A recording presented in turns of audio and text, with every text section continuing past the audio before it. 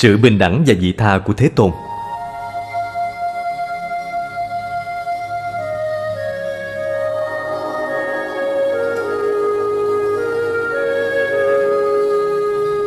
Một ngày nọ, đức phật cùng với a nan vào thành khất thực.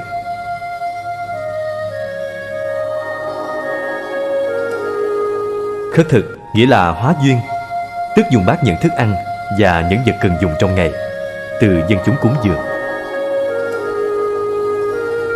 Câu chuyện phật điển người gánh phận ni đề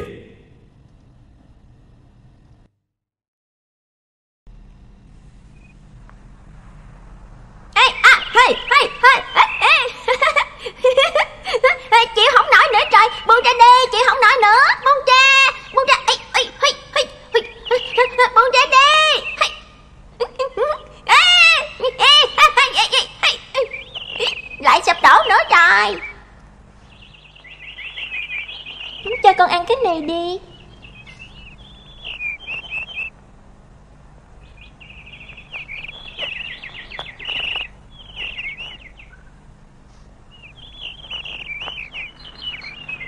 hả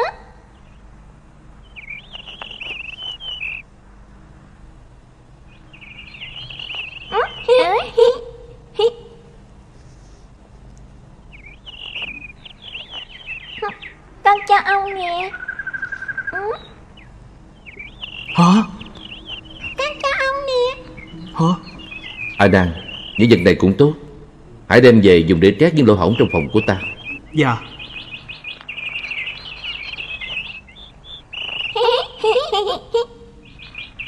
Bạch Thế Tôn suýt chút nữa con đã mắng bọn trẻ một lần Những thứ như thế này Đều do bọn trẻ có lòng tốt cho ta. Ta cũng vui rồi. Suýt chút nữa con đã làm chuyện sai lầm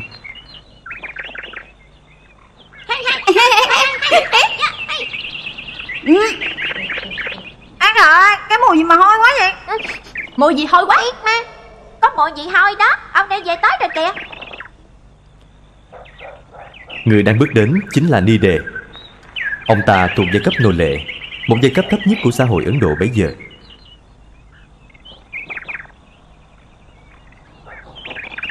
Công việc của ông ta là hàng ngày gánh phân đi đổ. Số phận này ông phải gánh chịu ngay từ lúc chào đời Cho đến chết mà không được quyền cải đổi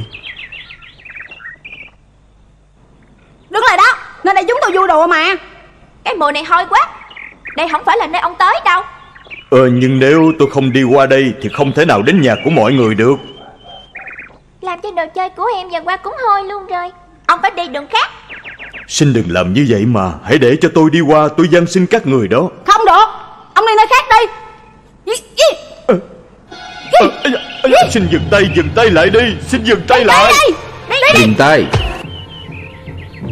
Nè các cháu làm gì vậy Ta không sao đâu. Thế Tôn mà Phải làm sao đây? Ni đề Ông đi đâu vậy? Ờ, Thế Tôn ờ, Xin lỗi ngài. Ờ, Xin ngài đừng đến gần con. Thân thể con dơ bẩn lắm. Hãy buông gánh của ông xuống Và đi đến bên ta. Hả? Lúc trước không phải ông đã từng nói Muốn nghe ta thuyết pháp sao? Con có nói vậy Nhưng mà Nhưng mà Ta sẽ thuyết pháp cho ông nghe. Nhưng thân thể của con dơ bẩn như vậy thì Giáo pháp của ta như dòng suối chảy. Ai cũng có thể uống Và ai cũng có thể nghe. Hả? Thưa Thế Tôn Những lời của ngài nói là thật sao? Ừ. Các cháu nhỏ Hãy đến đây ngồi xuống và nghe ta nói. Coi chừng ông ta la mắng chúng ta đó. Ta sẽ không la mắng các cháu Mà chỉ muốn kể chuyện thôi. Ông ấy nói là cái chuyện kia Đồ ngu, không phải vậy đâu Các cháu hãy yên tâm đi.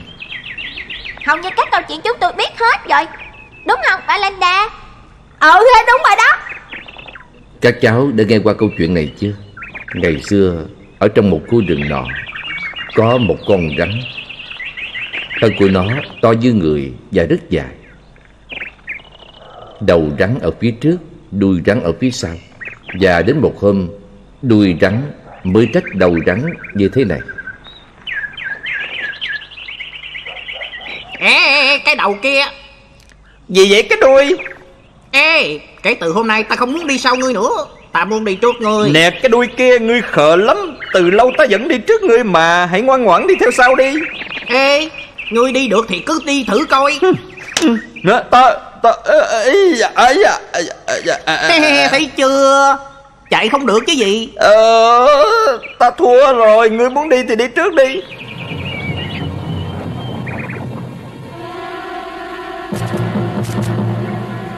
Ê, Ta đi đây Ê Ngươi đi đâu vậy Ngươi đi đâu vậy Ngươi hỏi ta ta hỏi ai Trời ơi, đ- đ- đâu quá, đâu quá, người định đi đâu vậy? Trời ơi, đâu quá, đâu quá, người định đi đâu? Ta nói đi thì cứ đi đi Ờ, nhờ, nhờ, nhưng, nhưng mà người đi đâu vậy? Bên đó nguy hiểm lắm. Hả, trời ơi, ta nói trước rồi, á, bên đó nguy hiểm lắm mà. À, Đừng có đi á, ta nói rồi đừng có đi á. Các cháu có thấy không? Hậu quả là vì cái đuôi không có mắt mà lại đi dẫn đường Nên đã rơi vào hố lửa đang cháy rực. Cuối cùng con rắn bị chết cháy. Các cháu có biết Đầu rắn chính là ta Còn đuôi rắn Chính là các cháu. Ừ, Chúng tôi hả? Đúng vậy. Ta có mắt trí tuệ Nhìn thấy chân lý của dạng vật. Ta muốn dạy dỗ các cháu. Còn các cháu Các cháu không có trí tuệ Nhưng mà lại không chịu nghe lời của ta. Ông ấy nói rằng chúng ta là cái đuôi Cái đuôi không có trí tuệ thì là quá đáng. Quá đáng thì Này ông Ông coi người khác đó là khờ dại hết hả? Các cháu giận rồi sao? Một thanh niên lỗ mãn Hay một chút là nổi giận Ta sẽ kể một câu chuyện khác. Đó là chuyện gì vậy? Đó là chuyện gì? Trong một thị trấn nọ Có một chàng thanh niên sinh sống.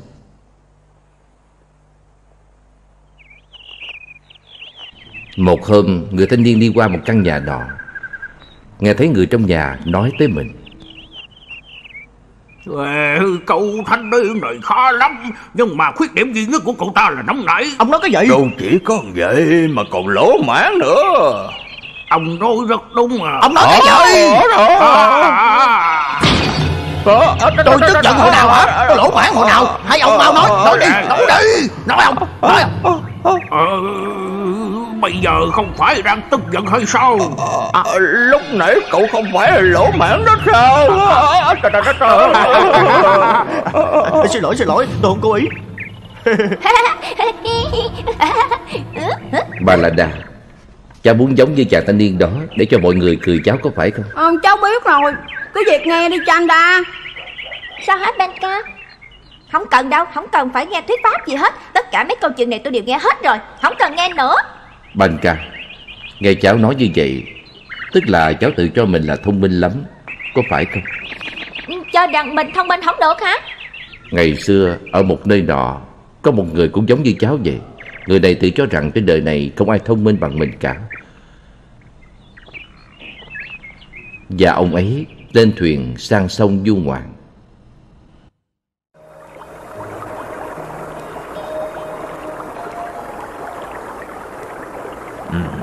À, à, à, à, Thôi chết rồi. Mình muốn nhờ người lấy thuyền lượm cái bát hộ mình Nhưng mà xem ra anh ta đang bận rộn quá. Ừm, ừm. Ừm, À đúng rồi. Ừm, à, Cứ vậy đi Rất ít người thông minh được như mình á. Ở dưới không có gì hết trơn á. Trời ơi sao lại không Có thể có chứ. Là vật bằng bạc của ta Tìm kỹ đi. Có thật là ở đây không vậy thưa ông? Trời ơi đương nhiên rồi. Cái bát rơi xuống nước ta đã đánh dấu ở mạn thuyền mà. Anh hãy xem kỹ lại đi. Hử? Hả? Ông đánh dấu ở lúc nào vậy? Lúc nào vậy thưa ông? Ờ thì lúc thuyền còn ở trên sông đó. Ấy à, ông khách ơi chiếc thuyền luôn luôn di động mà. Di động hả? Rơi xuống giữa dòng sông đương nhiên là chìm xuống đáy rồi. Có làm dấu ở trên thuyền á, thì nó cũng không chạy theo dấu đâu Ờ nói cũng phải đó. Ờ hmm, thấy thì rất thông minh nhưng thật sự thì ngu dốt quá đó.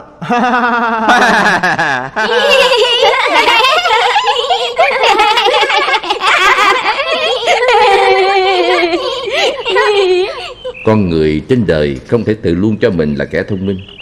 Mọi người từ khi sinh ra đều bắt đầu là vô minh cả. Do vậy cần phải tìm thầy để mà học tập. Cần phải học tập sao Đúng vậy. Hả? Vậy thì cháu không có muốn. Tại sao lại không muốn chứ? Vì trí nhớ của Elsa kém lắm. Cháu đợi tới khi lớn lên đầu óc thông minh hơn rồi mới học có được không? Nếu đời lớn khôn muốn học e rằng sẽ muộn Do là như vậy sẽ giống như người ngu dốt dắt sữa bò vậy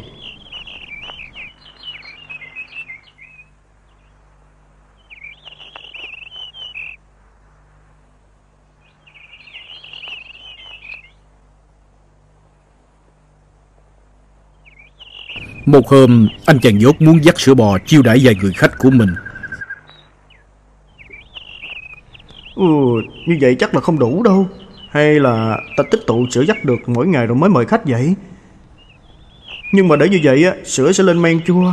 Ui, thiệt là đau đầu quá. Ừ phải rồi Ta đừng dắt sữa nữa. Hãy để dành sữa trong bụng của bò.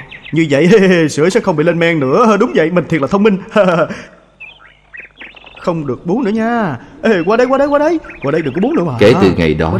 Chàng dốt này không dắt sữa bò hàng ngày nữa.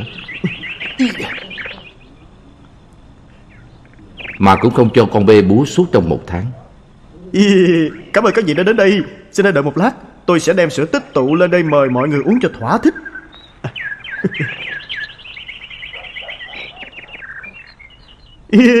Chắc sữa được tích tụ lâu nay sẽ có nhiều lắm đây. Hả? Ta trông cậy vô mày đó nha. Trông cậy vô mày đó. Nào bây giờ làm nào? Trông kỳ vậy ta. Không có giọt nào hết vậy. Ê, Chạy ra đi chạy ra đi. Ừ, Tại sao mày lại như vậy chứ? Tại sao vậy chứ? Hả? Tại sao vậy chứ? Hả? À, à, à, à, cứu tôi với cứu tôi với. À, cứu tôi với trời ơi. À, cứu tôi với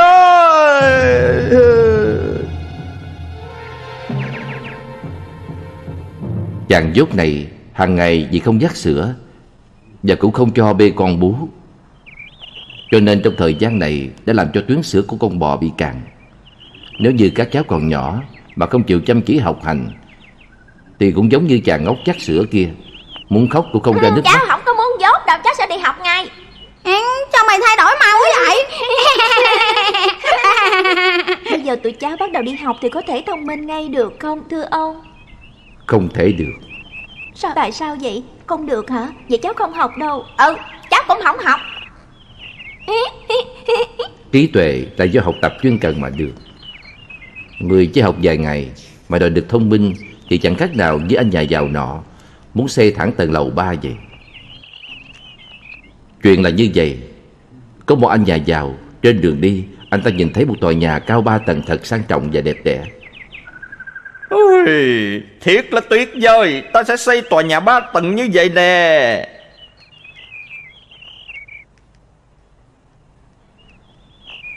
Quảng công. Ê dạ.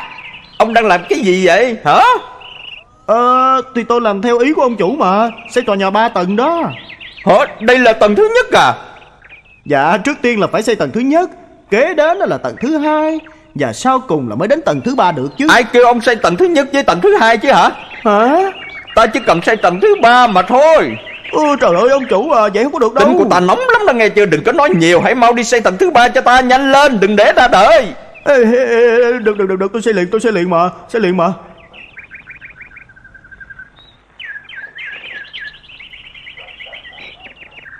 Tôi xây xong rồi đó ông chủ. Ừ Quán công Nhà đã xây xong rồi nhưng phải lên bằng cách nào đây? Thì chèo cột nhà lên chứ làm sao nữa. Treo cột nhà hả? Vậy không có tầng thứ nhất Tầng thứ nhì Thì đâu còn cách nào nữa. Xin mời ông. Ừ Ừ Ừ Ê, à, dạ, dạ, dạ, quán công à, đẩy ta lên đi, đẩy ta lên. Ấy à, ấy à.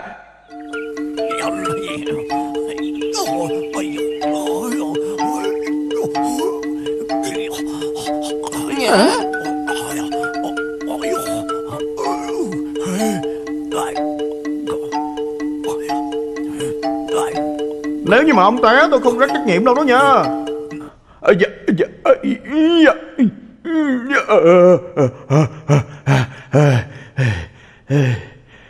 dạ, Thiệt là mệt chết đi được à. Hả? Hả? Hả? Hả? Hả? Hả? Hả? Hả?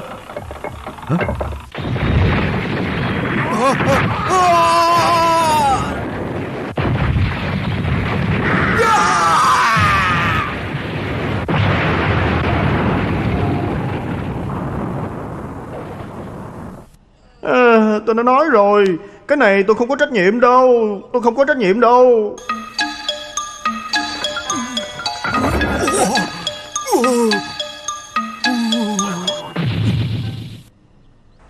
Ê Chanda mày biết không?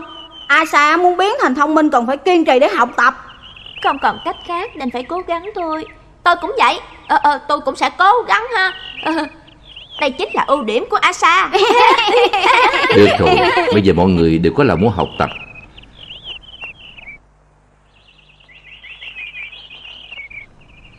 Ta là người của tộc Thích Ca Họ là Cồ Đàm. Là người thích ca. Tôi có được nghe qua rồi.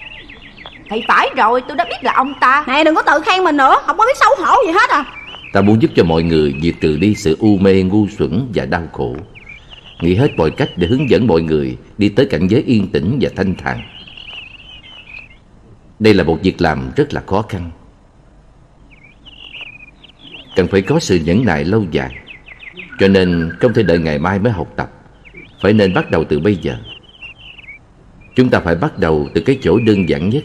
Hôm nay, ta chỉ muốn các cháu hiểu rõ một câu chuyện Là phải ngừng ngay một hành vi rất ngu xuẩn. Hành vi ngu xuẩn hả? Giống như là khi nãy các cháu đã ăn hiếp ni đề về ừ. Hả? Ta hỏi các cháu Khi nãy tại sao lại đi ăn hiếp ni đề? Ờ, Dừng tay, dừng tay, xin dừng tay, đừng ném nữa mà. Ờ, Đây đây. Nè, hãy nói ta nghe coi Tại sao lại đi ăn hiếp ông ta? Ừ, Tại vì ông ta hôi. Tại vì ông ta hôi quá. Ông ta dơ Đúng rồi ông ta vừa hôi là vừa dơ nữa Đó là bởi vì ni đề phải dọn rửa những đồ vật dơ Trong các cháu Không lẽ có người không thải ra những đồ vật dơ đó hay sao? Ờ ừ. Các cháu có tự mình dọn dẹp không? Ờ ừ, ừ. Như vậy các cháu thử nghĩ coi Là ai để giúp đỡ các cháu dọn dẹp? Là chú đi đề. Là chú đi đề. Là ông ta đó Nói một cách khác, Các cháu đều nhận sự giúp đỡ của Ni Đề. Các cháu không những là không biết cảm ơn, Lại còn ăn hiếp ông ta. Đây gọi là dông ân bội nghĩa. À đúng rồi. Ở một chút gia nọ, Có một thương gia tên là dông ân phụ nghĩa. Một ngày nọ, Dông ân phụ nghĩa và những người bạn cùng lên thuyền ra biển. Đột nhiên trên mặt biển nổi lên trận phong ba kịch liệt. Thuyền đã chìm Những ngọn sóng tự như những ngọn núi cao muốn nuốt sống họ.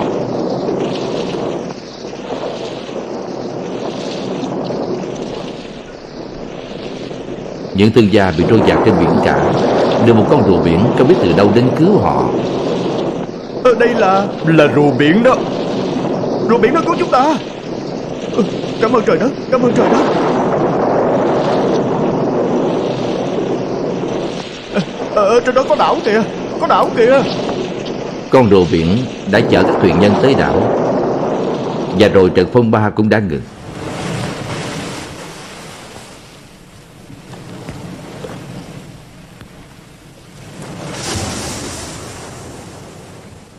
Ờ được cứu thật là tốt Nhưng mà trên đảo không có đồ gì có thể bỏ vào bụng hết. Ê, Cái bụng đói thiệt Đói chết luôn Hmm. Ừ. Ừ. Ây da đói bụng quá ừ, Nhìn nó ngủ ngon thiệt nha Hay là giết nó ăn thịt đi Hả? Ờ Cái này thiệt là quá đáng à Nó đã cứu chúng ta Ông làm vậy không thấy quá đáng sao Vậy các ngươi đừng có ăn nha Không chết ở ngoài biển á Thì chết ở đây cũng đâu có gì khác đâu Hả Hả Hả?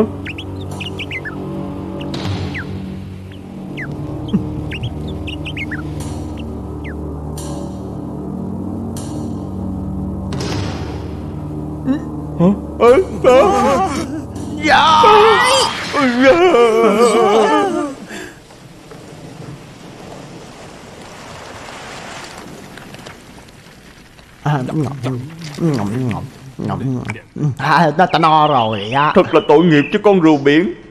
Thì đúng vậy đó. Đừng có khờ nữa.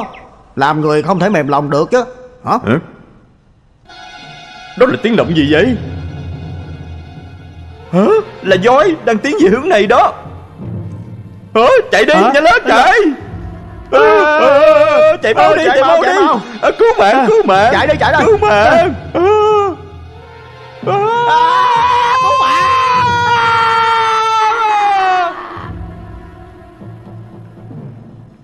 Ba người giống ông Phụ Nghĩa đã kêu cứu rất lớn tiếng Nhưng đã không còn có rượu biển để cứu họ nữa. Được rồi Không lẽ các cháu cũng muốn giống như tên thương gia đó sao? Bị gọi là dông ân phụ nghĩa. Không có muốn. Cháu cũng vậy Cháu cũng vậy. Được rồi Vậy thì các cháu hãy vì hành động lúc nãy Mà nói xin lỗi với Ni Đề đi. Đi xin lỗi ông ta. Ờ không thể như vậy được đâu. Tôi gánh không nổi đâu. Ni Đề. Tôi sẽ không xin lỗi. Đi đây là nô lệ. Hơn nữa giai cấp của ông ta là thấp nhất. Chứ tuyệt đối. Không có đi xin lỗi ổng đâu. Không đi. Ban ca Cháu sai rồi. À không. Cậu Banh ca nói rất đúng. Tôi là người xuất thân thấp nhất ở trong thị trấn này. Và hơn nữa công việc của tôi làm Vừa hôi lại vừa dơ Bị người ta khinh bỏ. Ừm, Tôi nghĩ đó là chuyện đương nhiên. Ờ, Họ có thể ăn hiếp tôi tôi không để ý đâu. Ni Đề à Ý của ông cũng sai rồi. Hả? Người không do xuất thân mà cao quý Mà là do hành vi mà cao quý. Người lẽ ra đã không có sai biệt. Tạo ra sự khác biệt đó Chính là tư tưởng tự cao của ban ca cháu. Ơ, ơ, ơ, Cháu? Cháu tưởng là chỉ có mình cháu là thông minh vĩ đại Nhưng mà cháu đã làm tổn hại tới trái tim của Ni Đề Việc này nhất định sẽ làm hại tới bản thân cháu. Cũng giống như là một con chim hai đầu vậy.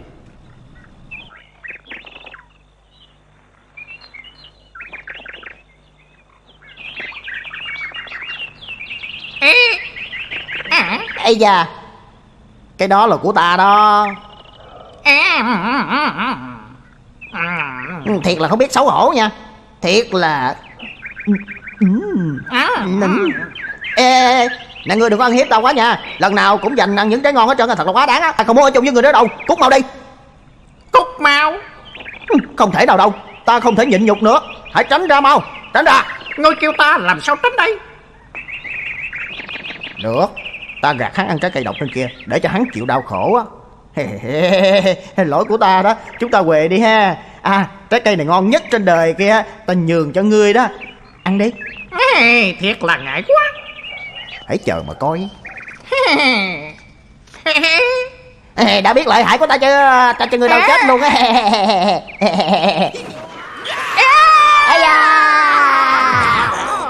Vì để trả thù cái đầu kia Cuối cùng đã hại tới bản thân mình. Hai cái đầu có cùng một thân thể Nhưng mà lại quên rằng Cả hai đã ngồi chung một chiếc thuyền. Những sinh mạng trên đời Đều có một sự tương quan Đã kết thành một đại sinh mạng Ta và A Nan bên cạnh ta đây Và tất cả các ngươi Banh ca còn có đi đề. Chúng ta đều là anh em cùng một sinh mạng. Cho nên chúng ta phải tôn trọng lẫn nhau Để mà chung sống hòa bình. Không thể tự cho mình cái quyền Làm hại tới người khác Và coi thường họ.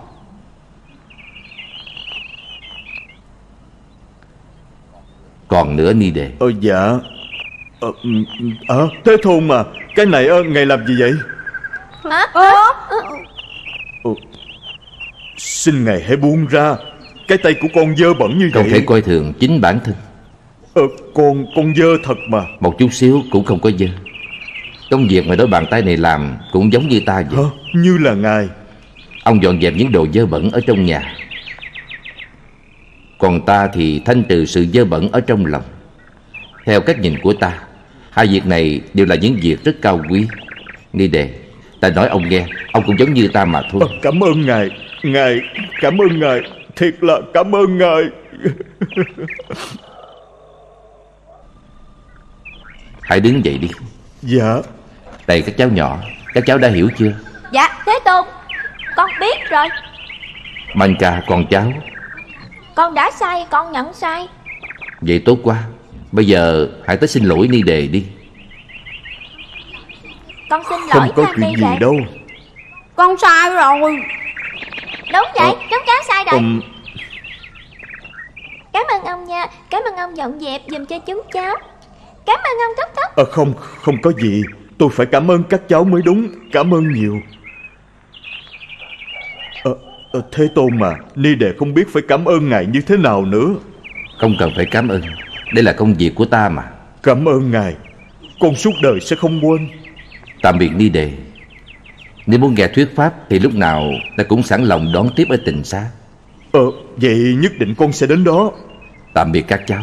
Tạm biệt. Tạm biệt ngài thích ca. Tạm biệt ngài Tạm biệt ngài Tạm biệt Tạm biệt Bài thuyết pháp vừa rồi thật vô cùng quý báu. Con cũng học hỏi được không ít điều hay từ đây.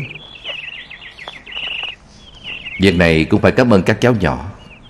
Dân à Tạm biệt Tạm biệt Tạm biệt Tạm biệt Tạm biệt Tạm biệt Tạm biệt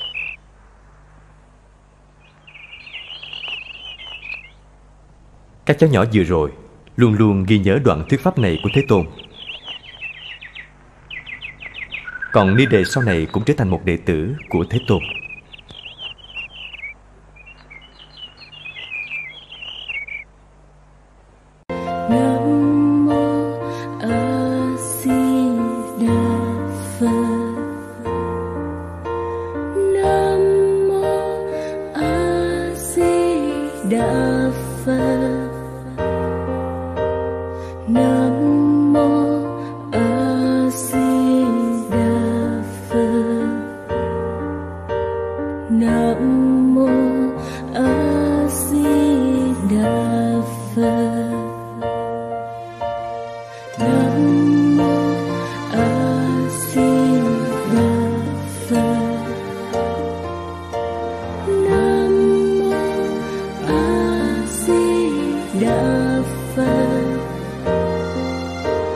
No.